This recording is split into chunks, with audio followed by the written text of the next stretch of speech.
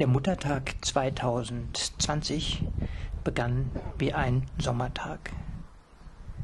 Die Sonne schien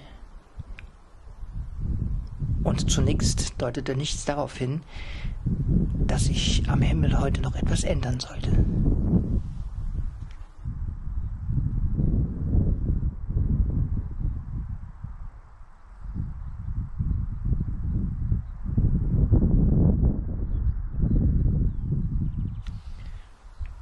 Gegen Mittag wurde es etwas windiger, aber es war sommerlich warm mit Temperaturen um 25 Grad. Aber es zeigten sich schon erste Wolken, die allerdings noch harmlos aussahen.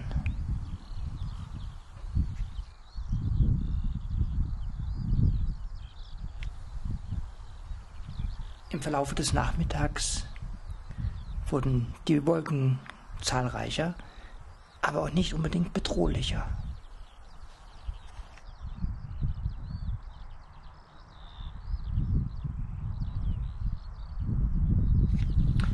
Ab 16 Uhr konnte ich am Horizont Richtung Westen blickend eine dunkle Wolkenlinie erkennen, die nur langsam vorankam. Gleichzeitig bemerkte ich einen ziemlich starken Wind aus südlichen Richtungen.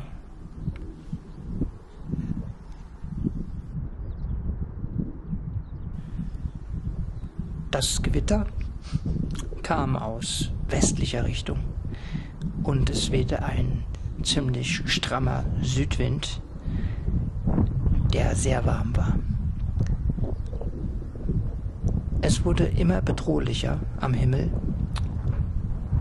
das Gewitter tatsächlich zu mir kam, wo es hinzog und wie stark es war, das seht ihr dann in den folgenden Aufnahmen.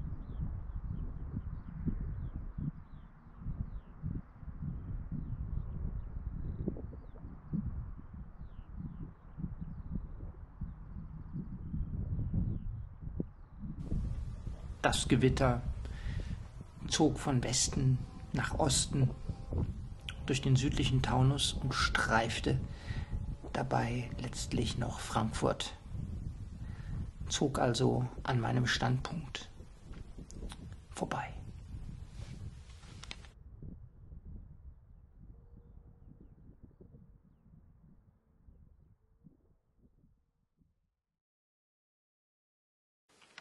Am nächsten Morgen war sie dann da, die kalte Sophie. Mit knapp null Grad am Morgen, Wind und Wolken und Regen.